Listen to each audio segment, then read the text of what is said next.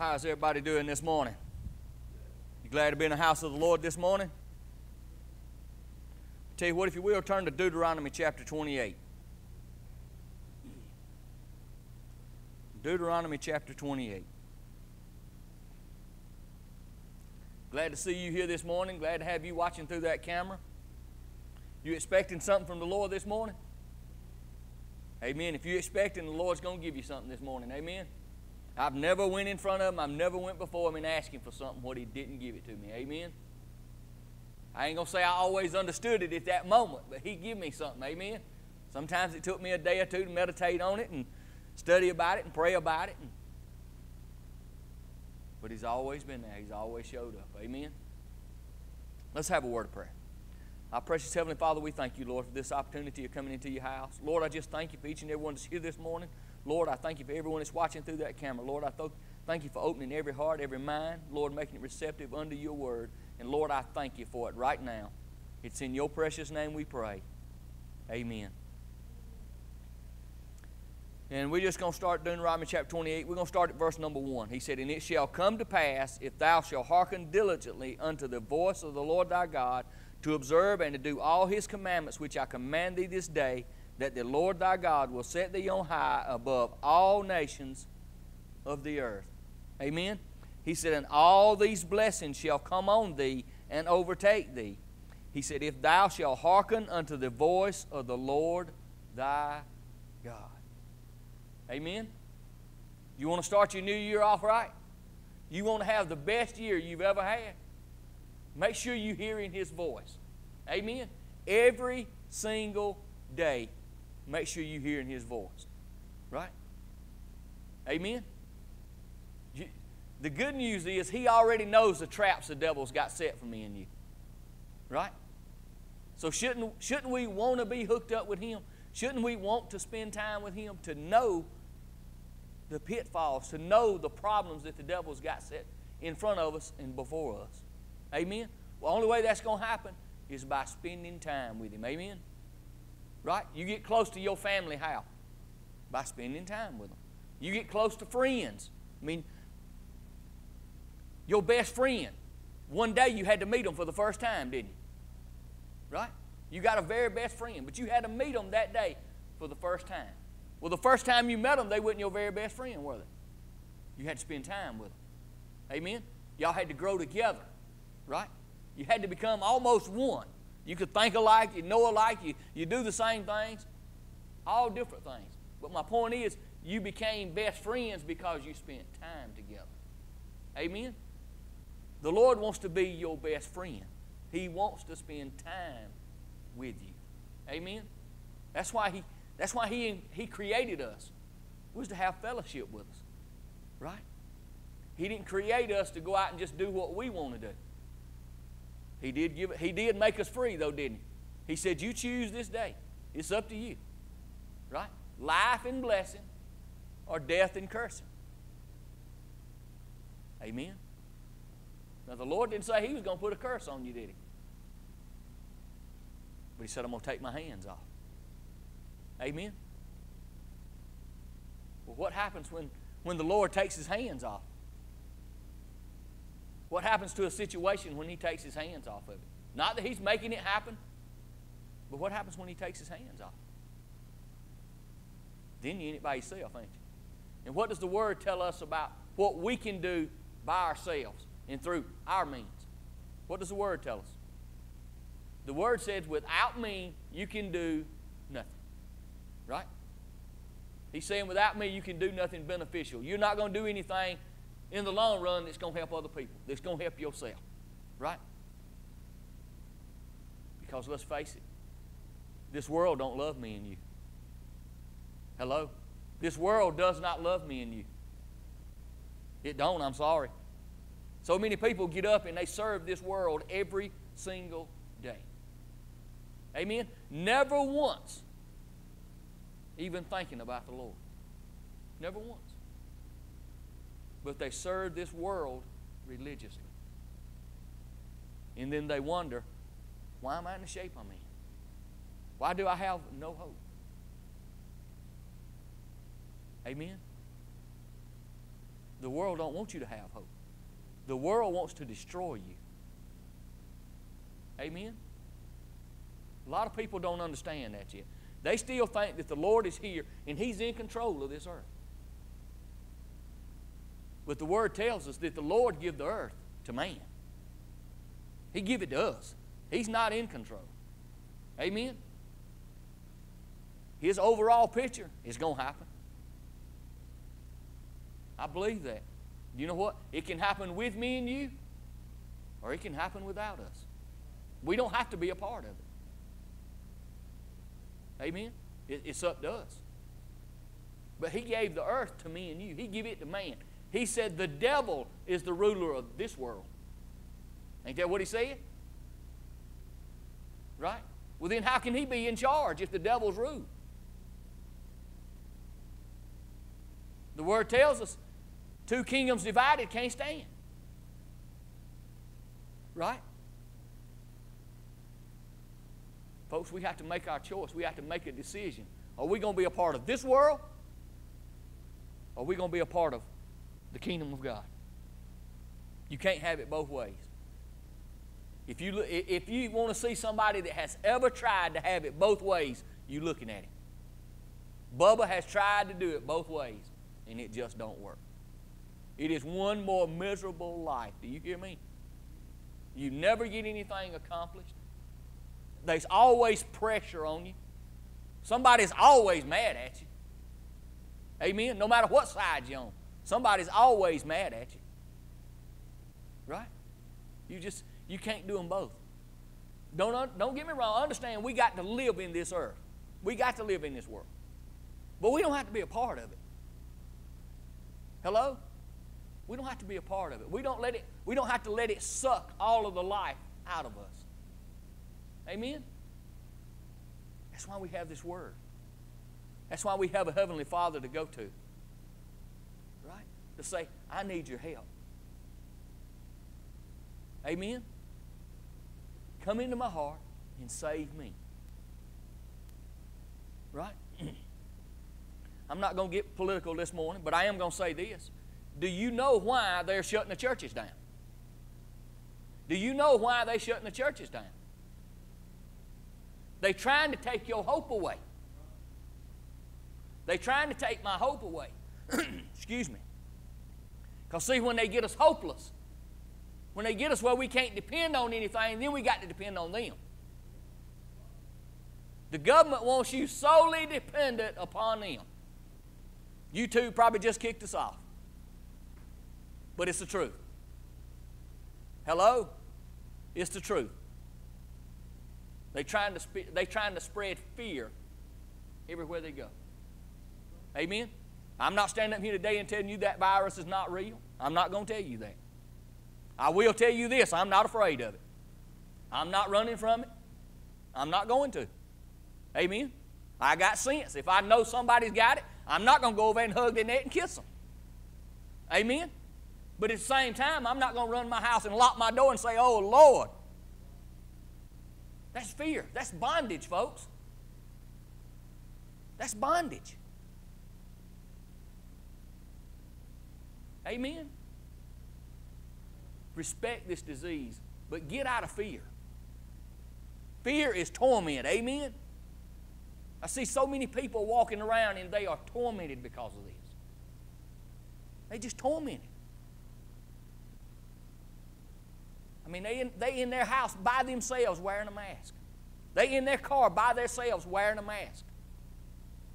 I had a man tell me the other day he even takes a shower with his mask on. Tell me how this works, folks. He's got, I, am not talking about him, he's got to have one of the nastiest faces there is on planet Earth. If he's been wearing his mask all the time, and he even takes a shower with one on, how do you wash? I'm confused. Let's wake up, folks. I mean, we all having a good laugh, but to this man, he's serious. He's in fear. It's really not. If he's listening this morning, he's mad at me because he thinks I'm making fun of him, which I'm not.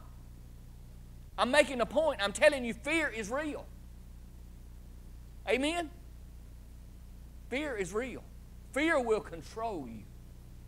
Fear will make you do things you wouldn't ordinarily do.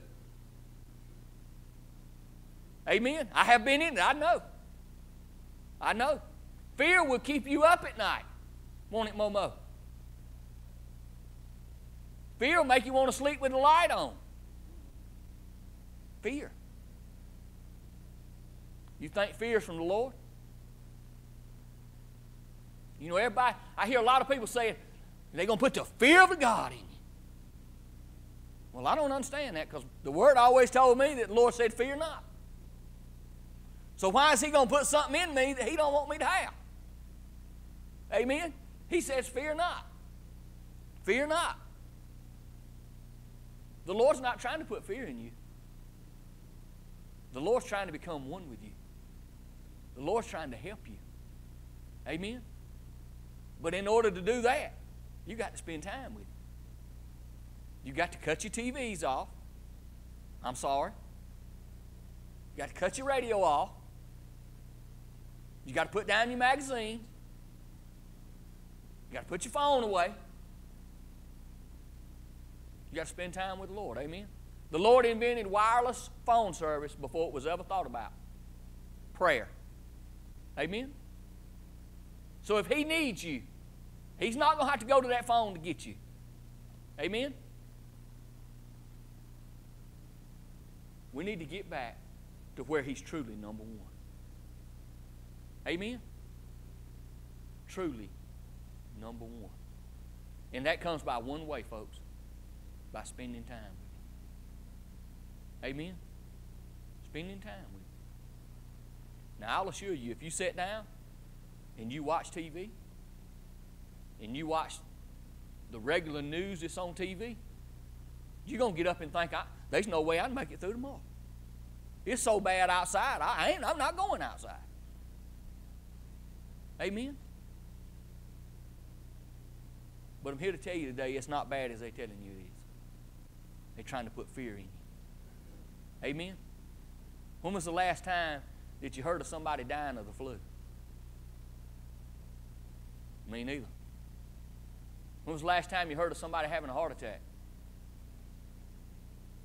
Me neither. You get the point? It's like this couple up in Chicago.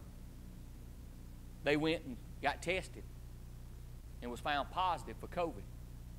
On the way home, they were hit by a drunk driver going the wrong way on the interstate, and it killed them. Killed. You know what cause of death was? COVID. Correct. COVID. If you have symptoms, it's classified as COVID. You know what that meant for the family? No closure. They're fighting right now to try to get it changed. Because, see, the way it stands now, the guy that done wrong, that actually killed him, he's not going to be charged with it. He's not going to be charged with the vehicular homicide. It's like it never happened. He's been charged with DWI, reckless driving, and something else. But he will not be charged with manslaughter. He will not be charged with murder. He will not be charged with vehicular homicide. See, all that, all that goes by the death certificate. And the death certificate says COVID 19. Amen? You want to know why the number's out of this world? That's why they're out of this world. Amen? That's enough about that. Let's get back to the lesson. All that was free, by the way. It was the truth, though, but it's free. Let's see, verse number three. He said, Blessed shall I be in the city, and blessed shall I be in the field. Blessed shall be the fruit of thy body, and the fruit of thy ground, and the fruit of thy cattle, the increase of thy kind, and the flocks of thy sheep. Amen. He said, if you spending time with me, if you're making me number one, and you're doing exactly what I tell you to do. Amen. Verse number five, he said, Blessed shall be thy basket and thy storehouse. Blessed shall thou be when thou comest in, and blessed shall thou be when thou goest out. He said, The Lord shall cause thine enemies to rise up against thee, to be smitten before thy face. They shall come against thee one way and flee from thee seven ways. Amen? The Lord said, I'm going to put them in chaos. Have you, ever, have you ever seen chaos before? That was crazy, wasn't it? We just we've been in chaos for a year, ain't we? But that's from not being prepared. That's from not spending time with it. Amen.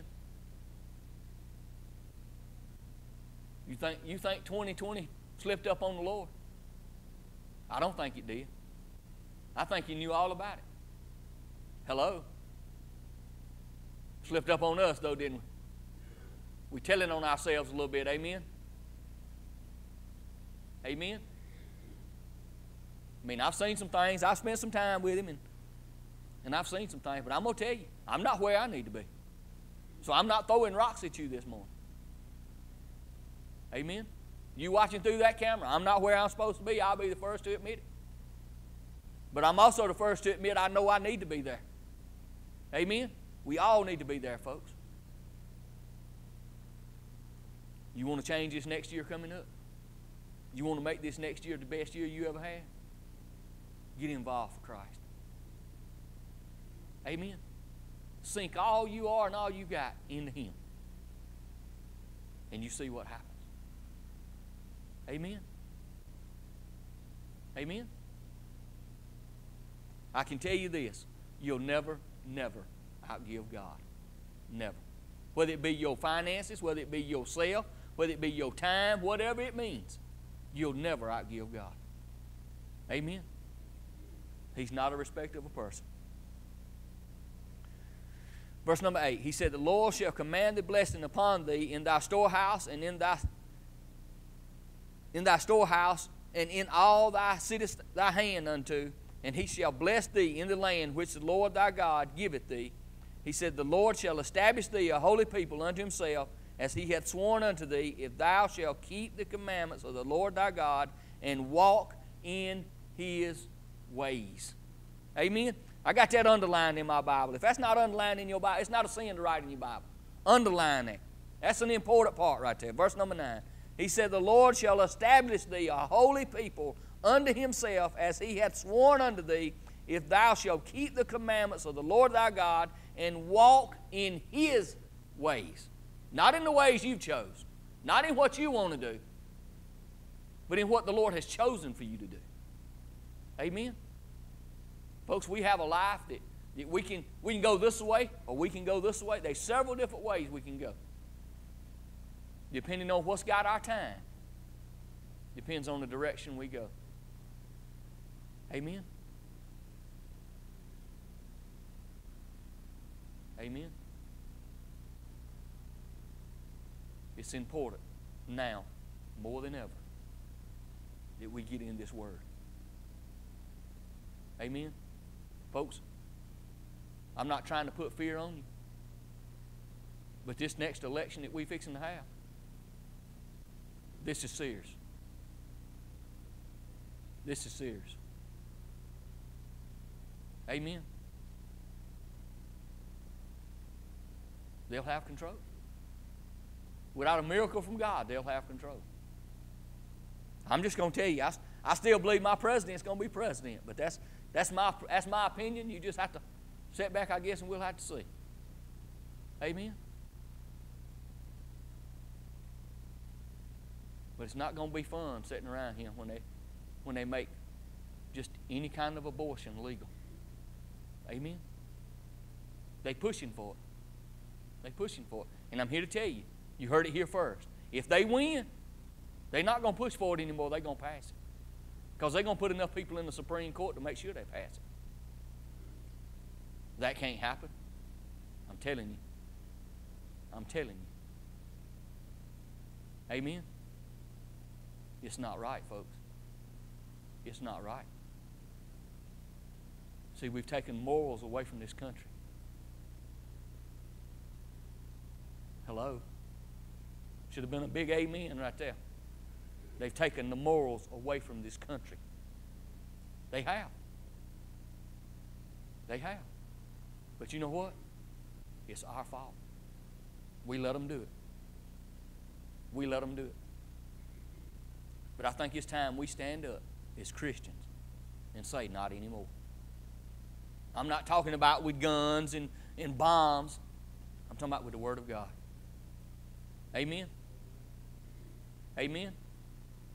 I'm talking about getting in His Word, making Him number one, and finding out what do we need to do. I can tell you, they may not nobody have a solution, but He's got it. The Lord's got the solution to this problem. Amen? Let's go after Him and ask Him to, to give us this solution, to help us, to show us what we need to do. Amen? Because without it, what are we going to have, folks? What are we going to have?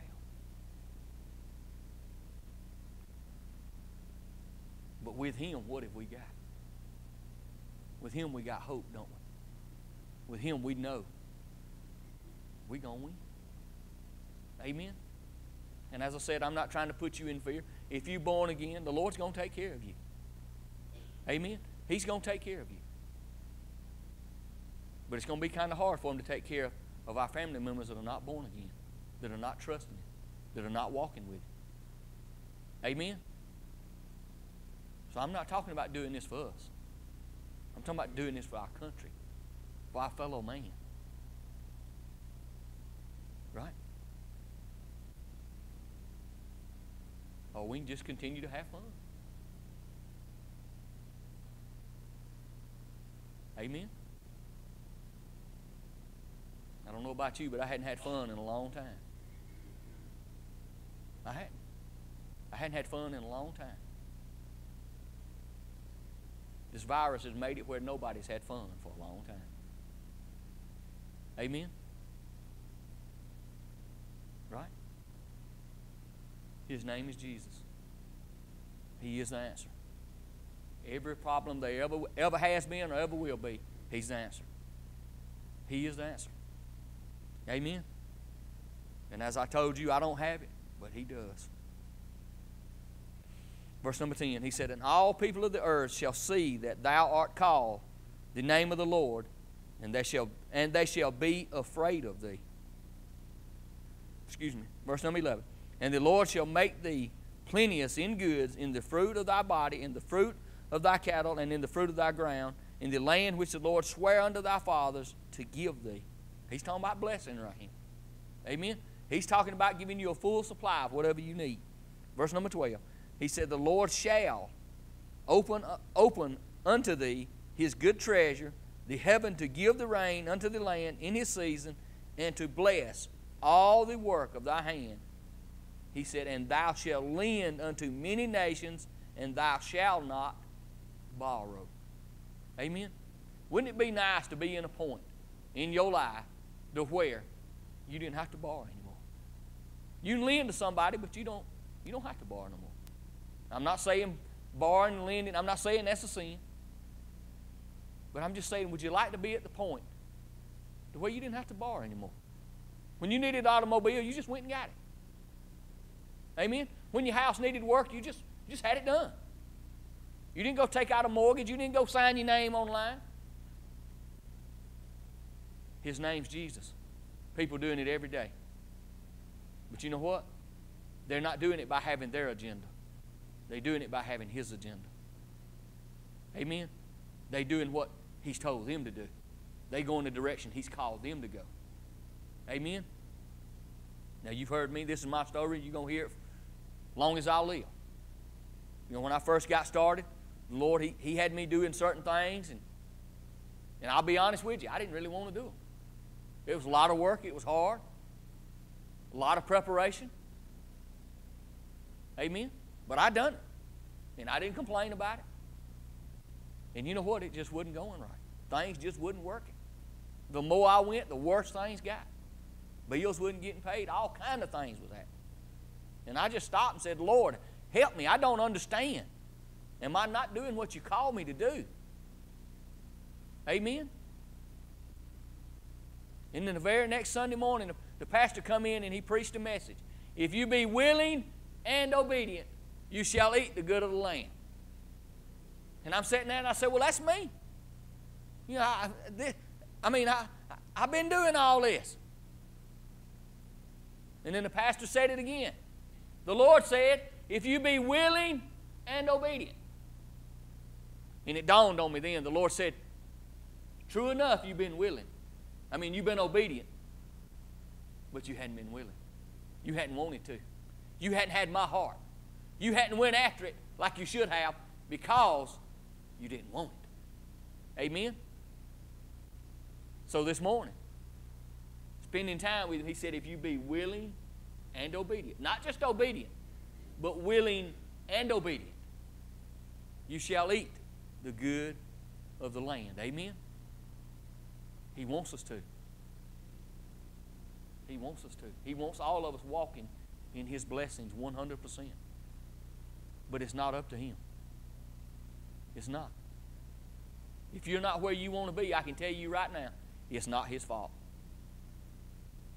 It's not. If we're not where we need to be, if we're not where we want to be, it's our fault.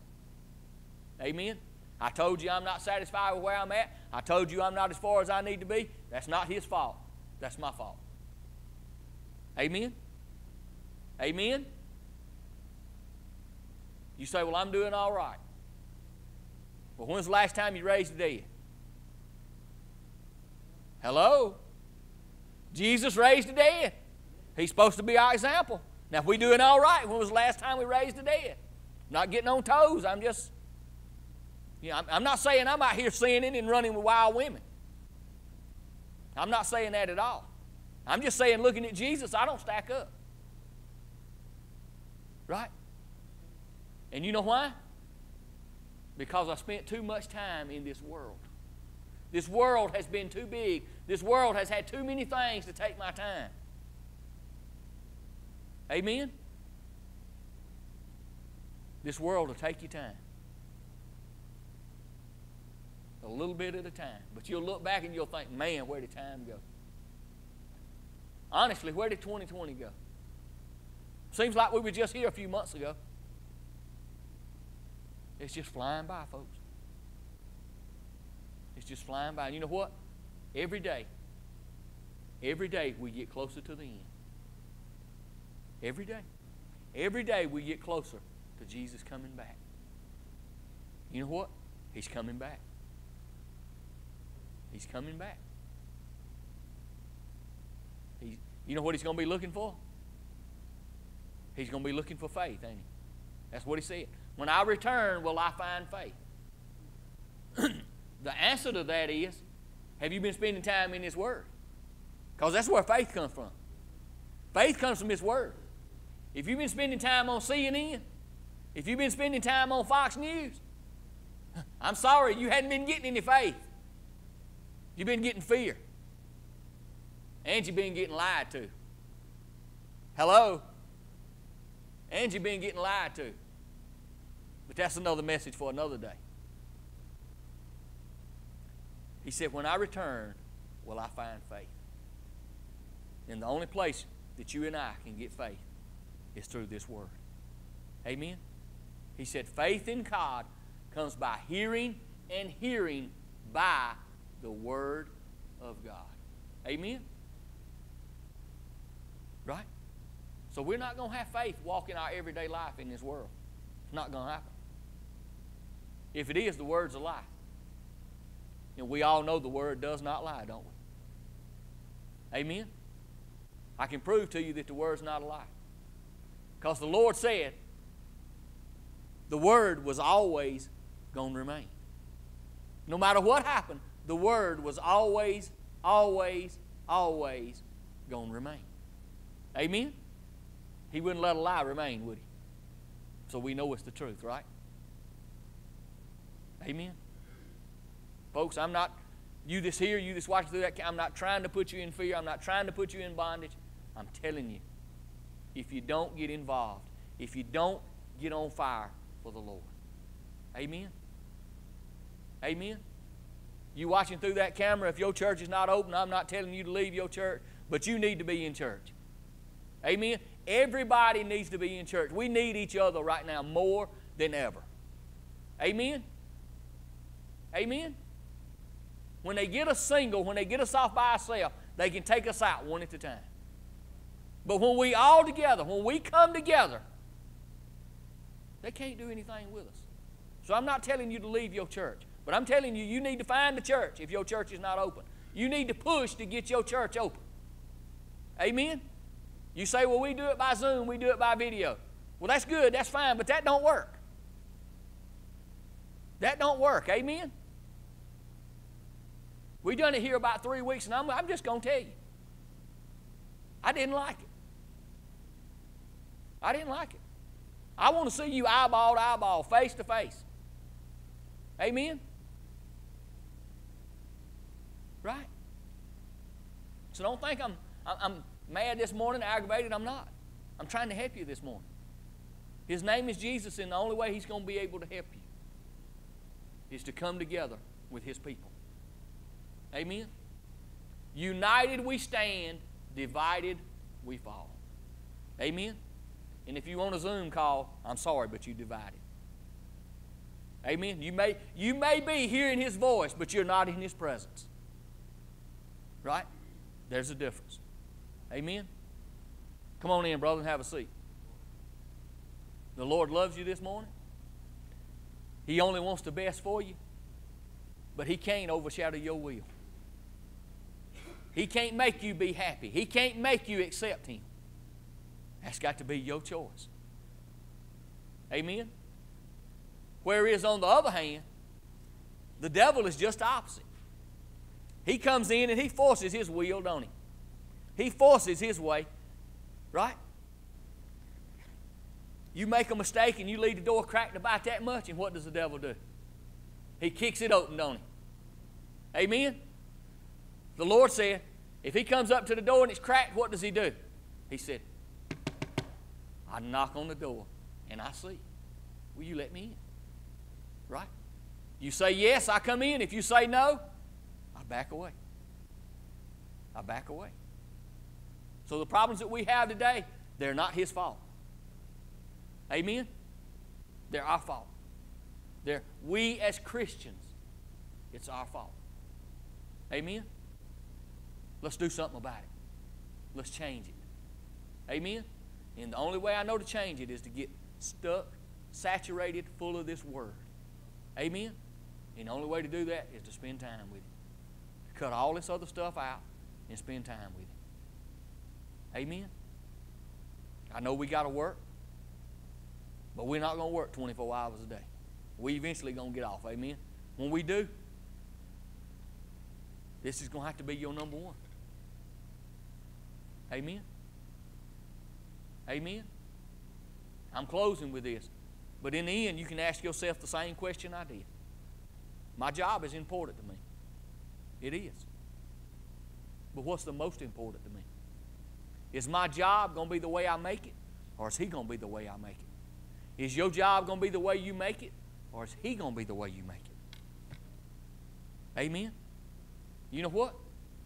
It's good to depend on that job as long as it's there. But what happens when it's gone? You looking at a fellow that thought he was secure and had one, and all of a sudden, it was gone. It was gone. What do you do then? What do you do then? Let me tell you what you do then. You lose everything you got. So you don't have no other way. You got all your eggs in that basket over there. And when it went under, you went under. You lost your home. You lost your job. Amen? You lost your furniture. You had to file Chapter 13 bankruptcy. You had to do all kind of stuff. Right? Amen? But then you remember. You remember that the Lord's not mad at you. And He loves you. And He wants to help you. Amen? And you start getting involved with Him. And then you become a part of His covenant. Right? And then no matter what happens, the Lord don't let you go under. Right? But it's up to you. It's not up to Him. It's not up to me. Amen? It's not up to me whether you serve Him this morning. And it's not up to you whether I serve Him this morning. It's not up to Him whether I serve Him.